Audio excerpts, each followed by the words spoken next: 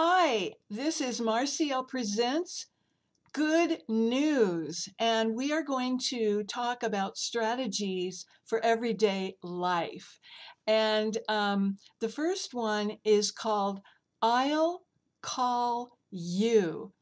And there's a strategy, especially in business, in which if somebody is going to call you, especially if there's a problem, let's say you have a problem with another person, it's better for you to call that person rather than waiting around and getting upset and panting and chomping at the bit, waiting for them to contact you.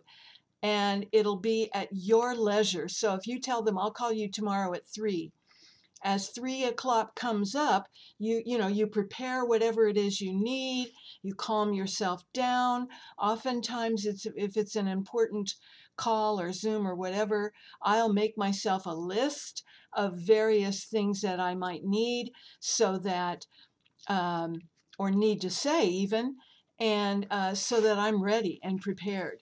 Sometimes it can be a problem between yourself and another person it can be somebody's checking up on you. If it's your boss, maybe you could arrange that phone call where you would call that person. And then the um, the energy is coming from you, and then you put it out there.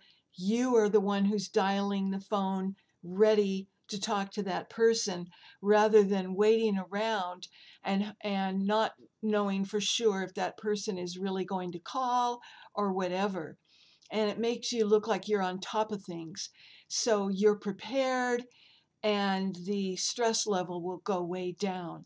It's a really good strategy and uh, you might want to look into it a little bit more and try it out. Okay so that's your first tip.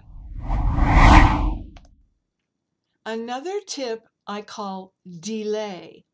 Oftentimes, there's something that somebody wants us to do, or uh, somebody wants to get together with us, and we really don't want to get together with that person, and we don't want to confront that person. We don't want to sound like a jerk or say, you know, I, I really don't want to be friends with you, or whatever it is.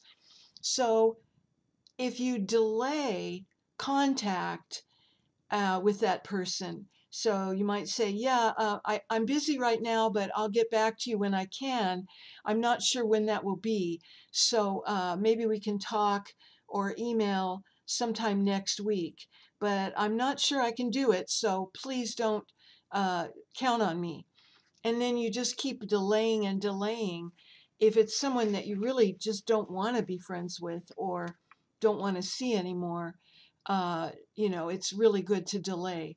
When I was in my early 30s, someone wanted to get together with me, and I was very fed up with that person with all the games and the head trips. And I threw the I Ching actually and asking it, What should I do? And it said, Remain like a mountain and let the water flow around you. And I had never done that before. The person called me up and said, Hey, let's get together. And I said, Yeah, maybe we can. I'm busy right now. And uh, I don't think I can right now, but maybe we can get together sometime in the future. Maybe I can get back to you. And he knew what I was doing. He said, I know what you're doing, Marcielle. And uh, it was because it was a breakup. And um, it's a long story, but he uh, he left me alone after that, even though he knew what I was doing. And it's the first time in my life I'd ever done that. I would usually be very honest and say, you know, why do you want to get together with me? You know, isn't it over anyway? And what's going on with you? And it worked out. So sometimes stalling politely delaying, whatever it is, uh, will really work. And um, don't be confrontational. You don't have to say what you really think. Just, I need some time. Uh, I'm really swamped, or whatever it is. I have a friend who when someone wants to be friends with her, uh, she'll just tell that person, There's no more room in my life for anything else. I'm so sorry, but uh, I really like you, but, you know, I can't. And it seems to work for her. So, you know, that's a nice thing about getting older is that we we learn these little tactics and uh, we learn how not to offend other people. Okay,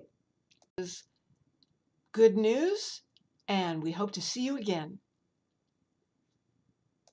Thank you.